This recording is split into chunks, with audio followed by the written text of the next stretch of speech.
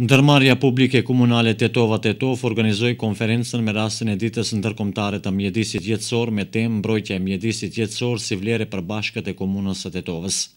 Në këtë konferencë morën pjesë përfaqësues të Komunës së Tetovës, të Ndërmarrjes Publike Komunale, Ministri i Mjedisit Jetësor Abdulaqim Ademi, përfaqësues të Universitetit Shtetëror të Tetovës dhe Universitetit të Evropës Juglindore si dhe përfaqësues të organizatave joqeveritare.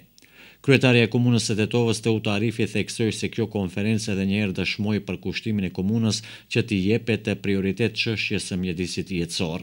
Ky proces i debatit dhe i bashkëpunimit në këtë çështje me Akademinë, Pushtetin Qendror dhe me organizatat joqeveritare të përparojë akoma më tepër bile dhe të formalizohet, prandaj mendoj se është për ne një Konferencë e rëndësishme, e cila në një mënyrë duhet që të shkojë së bashku me aktivitetet tjera të cilat janë shumë intenzive për sa i përket mbrojtjes së ambientit. Ministri i Mjedisit Jetësor dhe Planifikimit Hapësinor, Abdulaqim Ademi, ka theksuar se Komuna e Tetovës është ndër të parët në Maqedoni që prioritet të rëndësishëm i kushton ambientit jetësor dhe ekologjisë. Vjen mirë që Komuna e Tetovës është ndër komunat më aktive në Republikën e Maqedonisë që punon rreth ambientit jetësor, a veçanërisht rreth ngritjes së vetëdijes së qytetarëve për ambientin jetësor. Kjo para së gjithash është për faktin që ky është edhe njëri nga qëllimet edhe të Ministrisë së Ambientit Jetësor, por edhe i pushtetit lokal dhe shpresoj që ky bashkëpunim do të vazhdojë. Drejtori i Ndërmarrjes Publike Komunale Tetovë, Xhelal Ceka, theksoi se përveç shërbimeve komunale, e ndjejnë si obligim edhe ngritjen e vetëdijes së qytetarit për ruajtjen e mjedisit që na rrethon. Ndërmarrja jonë, do thotë, publike, pasi kaloi një sfidë jashtëzakonisht të rëndë, do thotë, tash, do thotë, erdhi momenti, do thotë, për të për t'u përqendruar në aktivitete, do thotë, që kanë të bëjnë më tepër për ngritjen e vetëdijes qytetare që bashkërisht do thotë siç shihni dhe ju në këtë konferencë përveç ministrit dhe kryetares kemi stafin akademik dhe shoqatat ekologjike dhe bashkërisht bashkërisht edhe ju si media dhe portale të të vare do do të punojmë bashkërisht do të për ngritjen e vetëdijes dhe për ruajtjen e mjedisit jetësor. Kryetarja e Komunës së Tetovës iu është përgjigjur edhe pyetjeve të gazetarëve lidhur me problemin e deponisë në Tetovë duke theksuar se për këtë çështje tashmë është miratuar edhe buxhet nga Komuna e Tetovës. Ne i kemi dinamikat tona, shumë gjëra të cilat janë prishur, nuk janë prishur për një ditë, po janë prishur për me vite dhe normalisht duhet kohë derisa të rregullohen. Siç e kemi thënë, domethënë ne me buxhetin tonë kemi paraparë edhe mjete buxhetore për të zgjidhur këtë problem.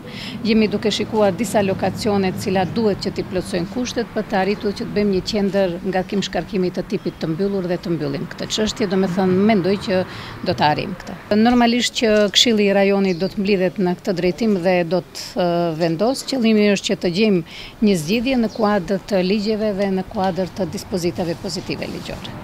Drejtori i Ndërmarrjes Publike Komunale, Xhelal Ceka, thekson se kjo ndërmarrje është ballafaquar me sfida të mëdha dhe rimëkëmbja e saj është bërë falë ndërhyrjes financiare të Komunës së Tetovës. Komuna e Tetovës dhe ne si ndërmarrje bashkërisht kemi ecë në këtë rrugë, do thotë Komuna e Tetovës ka nda mjete do thotë për ndërmarrjen do thotë në vlerë prej 7 milionë e gjys. Do thotë ka qenë një rrugë e përbashkët do thotë pa ndihmën e komunës do thotë ishte shumë rëndë do thotë që ne të mërrim në këtë fazë.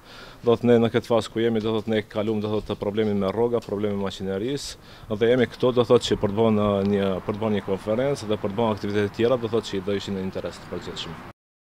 Në fund të kësaj konference u sollën në këto konkluzione, Të formohet një grup punues për ekologji me përfaqësues nga Komuna e Tetovës, Ndërmarrja Publike Komunale Tetova, Ministria e Mjedisit Jetësor dhe Planifikimit Hapësinor dhe përfaqësues nga organizatat joqeveritare. Të përgatitet strategji veprimi lidhur me çështjet ekologjike e cila do të miratohet në Këshillin Komunal. Ndërmarrja Publike Komunale Tetova, Ministri i Mjedisit Jetësor dhe Planifikimit Hapësinor dhe përfaqësues nga organizatat joqeveritare të angazhohen që me projekte të përbashkëta të konkurrojnë në thirrje për fonde ndërkombëtare. Komuna e Tetovës të rritë bashkëpunimin me sektorin joqeveritar, shoqatat ekologjike, si një segment shumë i rëndësishëm i shoqërisë në drejtim të mbrojtjes së mjedisit jetësor.